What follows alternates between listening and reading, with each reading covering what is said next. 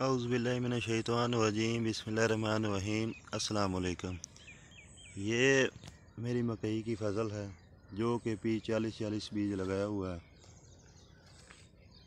ये इसमें फाल आर्मी का अभी तक कोई मौसर कंट्रोल नहीं हो सका। ये देख लें आपके सामने। इसमें ये आज मैं तीसरा स्प्रे करवाने लगा हूँ। इसमें एक पहले एमामेक्टन और लीफुरान का मिक्सचर करवाया था मैंने। उसका भी मुझे कोई ख़ास रिज़ल्ट नहीं मिला।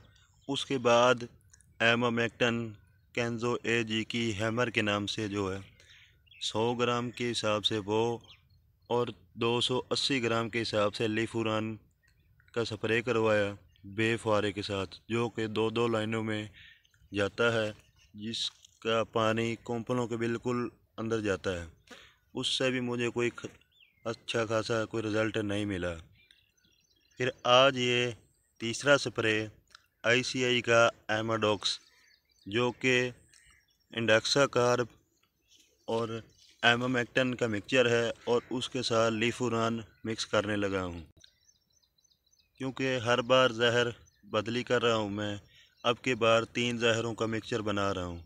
उम्मीद है इन इससे शायद कुछ कंट्रोल मिले और इसके बाद बारी आ जाएगी दानेदार की। दानेदार में भी कार्बो वगैरह को एमोमेक्टन के साथ कोट करेंगे, फिर इसको पोंपलों में डलवाएँगे लेबर के साथ। फिर इन उम्मीद है कि उससे काम बनेगा। असल इसका हल ही दानेदार है, क्योंकि दानेदार कोंपलों में डाली जाती है। अगर स्प्रे वगैरह कोंपलों में ना डाल सके तो पैसे ज़ाय करने वाले ही बात है, क्योंकि ये फाल आर्मी वार्म जो है, ये कोंपलों में अंदर बैठती है और कोंपल को ही खाती है। स्प्रे जो है, वो बहुत मुश्किल हो जाता है कोम्पलों के अंदर तक पहुंचाना। जी, ये एमाडॉक्स है जी, आईसीआई का। ये इसके अंदर है, ये एक्टिव है। एंडोक्सा कार्ब और एमामेक्टन बेंजोएट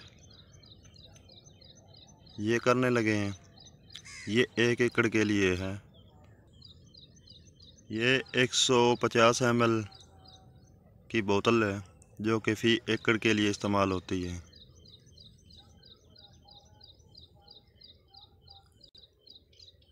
दूसरा ये लीफुरान है, जो कि लेनीटॉक्स के नाम से है, रिडोल्फ कंपनी के। ये हम फ़ी एकड़ के हिसाब से 280 एल डाल रहे हैं, क्योंकि ये पाँच परसेंट वाला है।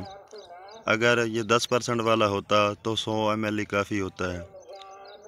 और पाँच एम के हिसाब से भी हम 140 एम तकरीबन डाल रहे हैं।